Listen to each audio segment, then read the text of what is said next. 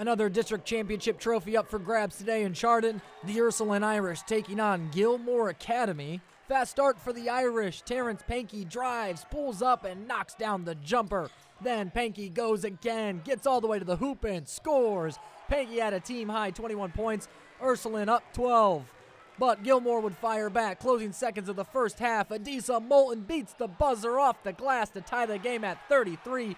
Moulton would finish with a game high 24 points as the Lancers were feeling an upset brewing. Ursuline also got a big game from Jaden Payne. He had 20 points, but the Irish fell behind by double digits in the third quarter. Then in the fourth, here's the dagger. Jimmy Lawless with the corner three.